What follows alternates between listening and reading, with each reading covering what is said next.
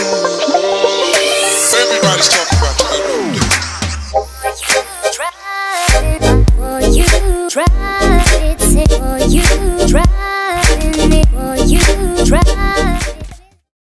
everyone, welcome back to my channel. So today I'm creating this eye makeup look using the Anastasia Beverly Hills Self-Made palette.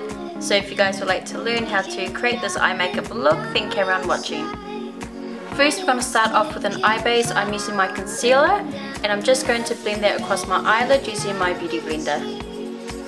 And as usual I'm just going to set that. You can use a face powder or any matte cream eyeshadow colour. Now for some reason my camera didn't record this bit but I did use Treasure from the palette to highlight the inner corner of my eyes as well as underneath the brow bone. And before I started applying the rest of my eyeshadows I just added a bit of tape just to help keep the eye makeup sharp and clean. So for my transition shade I went in with Morocco which is actually from another palette from Anastasia Beverly Hills. It's the Shadow Couture one, it's my favorite palette. Um, I'm using that warm brown shade as my transition shade, so I'm just going to buff that into my crease. Now I'm going in with hot chocolate, which I'm going to place on the outer corner of my eyelid, and I'm also going to drag that into my crease.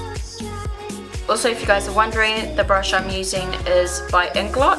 It's the 5FS brush. Um, it's a must-have. I love it. I'm totally obsessed with this brush, especially when it comes to like cut crease looks. So after I applied hot chocolate, I just went in with my blending brush and just blend out the edges.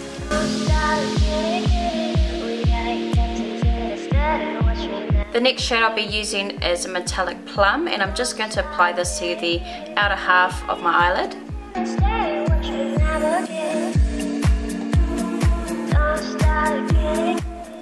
Now to add a bit of glam to the eye makeup look, I went ahead and applied pink champagne um, all over my eyelid. It's a really, really stunning, pretty eyeshadow. It's one of my favorites from the palette.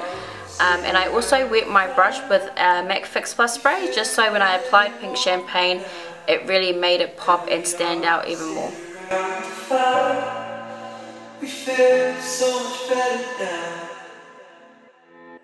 Now I'm just going to go back in with metallic plum and I'm just going to blend that into the outer corner of my eyes just so all the eyeshadows blend together. Now I just went in with a bit of black and added that to the outer corner of my eyes. I just added a little bit um, to the outer corner and blended it slightly into the crease. So it was time to strip away the tape um, and as you can see that was a huge fail. Well, that didn't work out. Damn tape. So because the tape obviously didn't work for some reason, I went in with a makeup wipe, a wet makeup wipe, and just cleaned up the edges.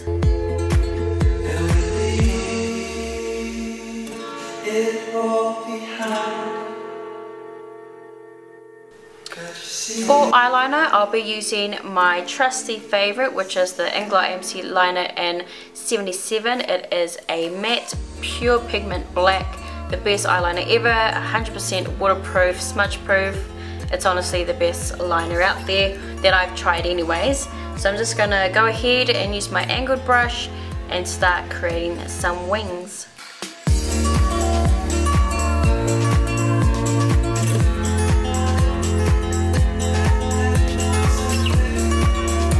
Now it's time to apply lashes. I just ordered these off eBay.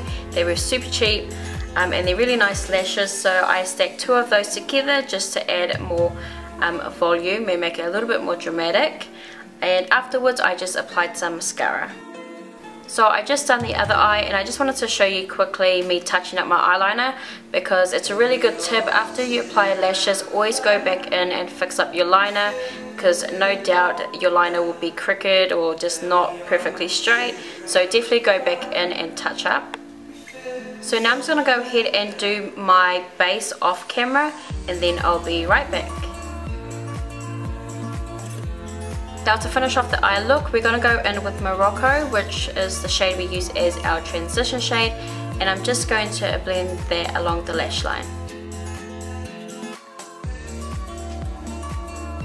Then I'm going to use Metallic Plum and I'm also going to blend that along my lash line um, just to make it a little bit more dramatic.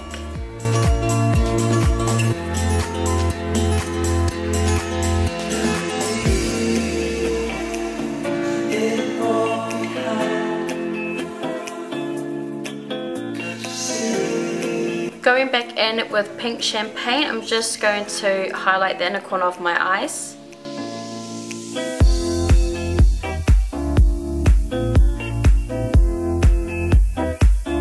So we're nearly done with the eyes. I'm just going to go ahead and apply some mascara to my bottom lashes.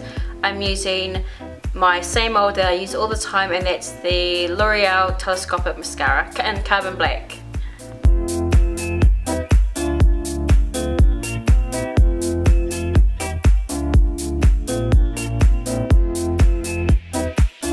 So the last step to this eye makeup look is to apply some liner into my waterline. I decided to use a really, really dark brown um, instead of a black. I don't know why, I think I just wanted to try something a little bit different.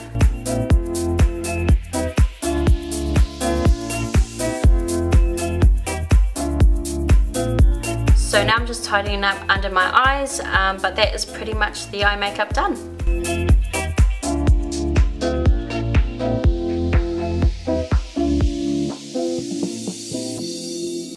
So if you wanted to make this look extra bold or more glamorous, then you can wear a orange lipstick with it. I think they go really well together. Um, this one is by Wet n Wild. It's their matte lipstick. I think it's called Pretty Permission or something like that. I'll leave it um, down in the description bar. And my second lip option is just a nude which I personally prefer with this eye makeup look and I think a lot of you guys would prefer it as well. Um, this one is Celebrity Skin by Jeffree Star. It's one of my favorite nudes. Um, I just love it so much. So yeah, let me know what lipstick that you prefer with the eye makeup look. Leave your comments down below. So that is my completed eye makeup look using the Anastasia Beverly Hills Self Made palette as well as two lipstick options just in case you want to go extra glam or tone it down and keep it neutral. Um, I hope you guys enjoyed this tutorial. If you did, please thumbs up the video, leave your feedback and comments down below. Uh, thank you guys so much for watching. Please subscribe and yeah, I'll catch you guys on my next video. Bye!